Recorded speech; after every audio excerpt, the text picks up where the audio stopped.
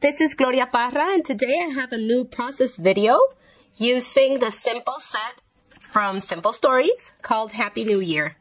As you can see, this the set is super fun. I love the bold colors, the black and all those pinks, yellows, and orange. I want to show you a little. This is a smaller collection, but perfect to document your New Year's photos or resolutions, whatever you like documenting. Okay, I love the numbers here. Hmm, I really like those. I love the clock and all the fun embellishments. Look at this bold paper. A fun polka dot. You can use these patterns not only for New Year's, but I can imagine this for Disney. I can imagine this for, I don't know. Oh, look at this stripes. That would be wonderful for your teenagers. Lots of opportunities here. This is so Disney.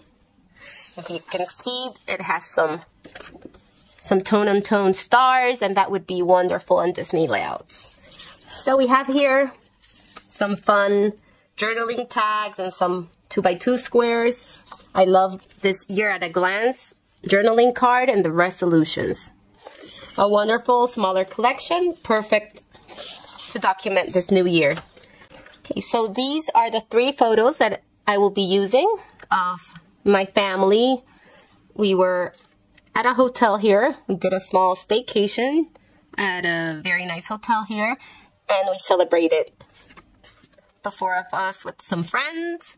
So I want to document our fun family celebration.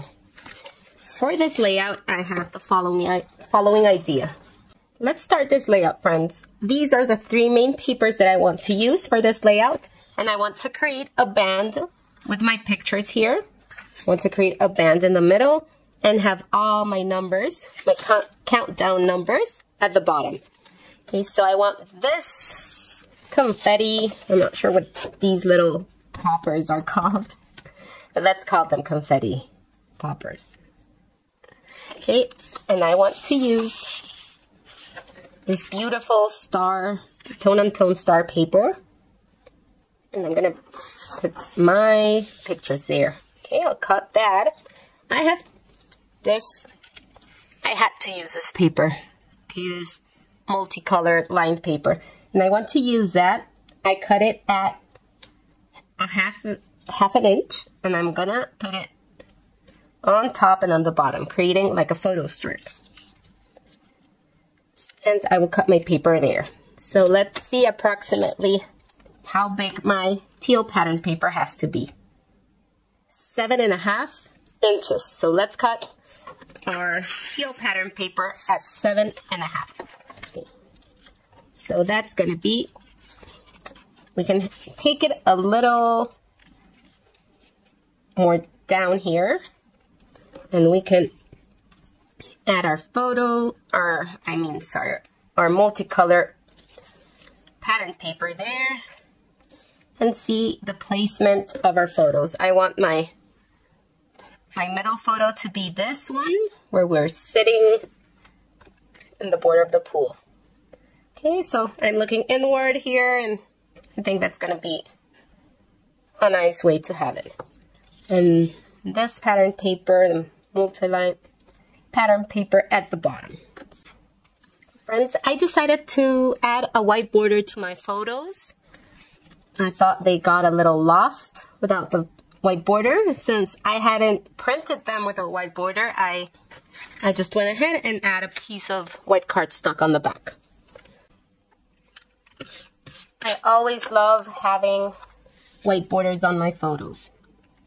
So I just went and added some white cardstock. Add your double-sided adhesive of preference and start adhering your photos.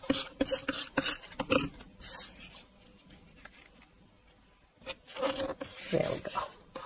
Now I have my little border strip and I want to see that they match the top and the bottom. Just, just so they look cleaner better. You can even add some machine stitching here in the middle or you can add some hand stitching if that's what you you like. I will be trimming a little the white there. Okay, now that I have my photos adhered and my strip adhered, I can adhere all this piece to my pattern paper. I love how my photos look there. And I'm gonna be adding my adhesive. I'm really liking this scrapbook.com double-sided double-sided tape runner. And let's try to put that it belongs. Remember, don't put your adhesive all the way to the border because we will be tucking some things under. So let's try to leave the borders without adhesive. Okay, now I had the idea. I love this border strip from the sticker sheet. And I wanted to place that one under my border here. Just to give it a little extra pattern there. And I was thinking of adding this quarter inch strips down here. Now all my borders are adhered in place and I have the main structure of the layout done. Okay, I love how colorful this looks. It may be a lot of pattern, but we're gonna play with, with the embellishments to calm it out a little. But I love how it's looking. I want to create a little cluster down here with all my numbers. Okay, I have all my numbers here. These come from the sticker sheet. Okay, so you can see them all here. I love the countdown. And I've used my wonderful little powder tool to take the stickiness from the stickers. Okay, and now let's start arranging them a fun little pattern. So I think just measure with my fingers. I think that's great. Now I have some little elements. I love this clock. It's perfect and I want to tuck it right there under my seven. I have this little stars, confetti stars that I want to place them bursting out of my numbers. So let's try to find a, a good place for them. I also have this party popper. I'm not sure its name, but we can place it here. And we can have this one, this little one, and have it right here. That way we have cluster there. Okay, so you see we have this little border down here. I'm gonna place my journaling here. And at the top, I have another one of this little trays that I'm loving. And I want the celebrate piece from the sticker sheet to be my title. I want to place that one here. I want it to be, I don't like it floating up there. I want it to be touching with my border. I have this Happy New Year border. All of this, friends, has been powdered with some baby powder in this container, this EK tool. That's why I can move it around and work how I want it to be placed. I have my other star here that I want to place it there. And I love how festive this page is already looking. So tell me in the comments if you do something special for New Year's, you like celebrating it, going out with a family or friends. We had a very, very family-oriented New Year this, this year. So there, we're gonna pop everything up with some foam stickers, but just let's look at the placement there. I want to create my three little clusters and I love this resolutions card. I'm gonna cut it a little and I want it placed here. I'm gonna place it there. And I have my little balloon arrangement here that I wanted coming from the bottom of my photo. So let's play with this a little. And that way we have this three little clusters there. So friends, my first cluster of embellishments down here is ready.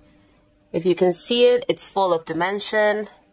Super fun, I couldn't love it more. So you, you just play around with your foam adhesive, you layer one on top, the other one on the bottom, and you go to town with your embellishments down here.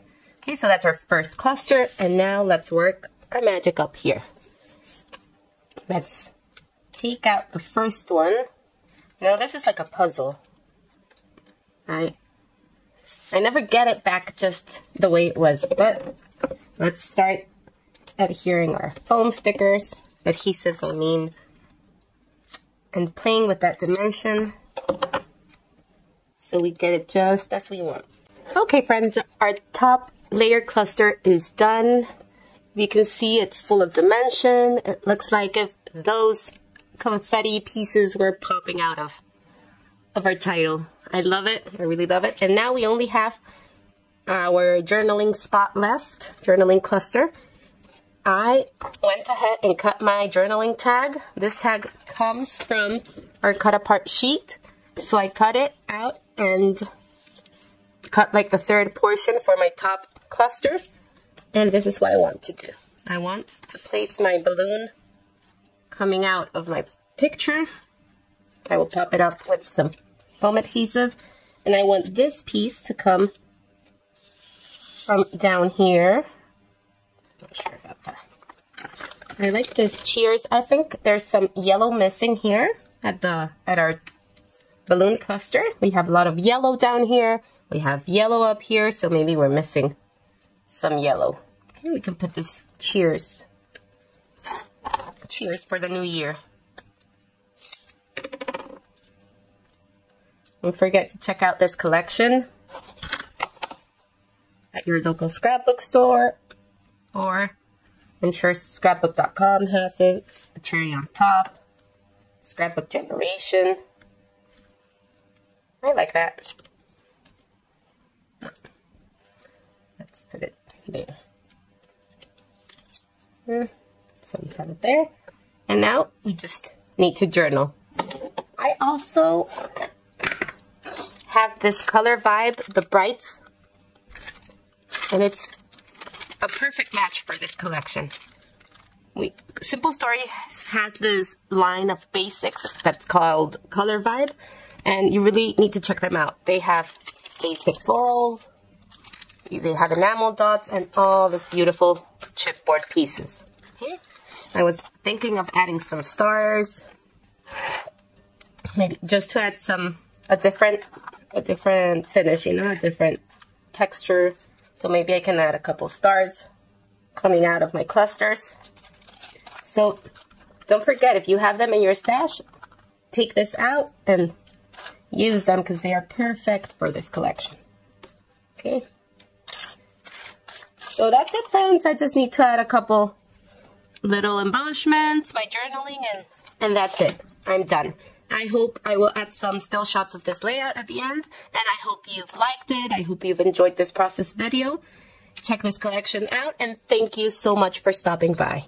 This was Gloria Parra for Simple Stories. Until the next time, bye-bye.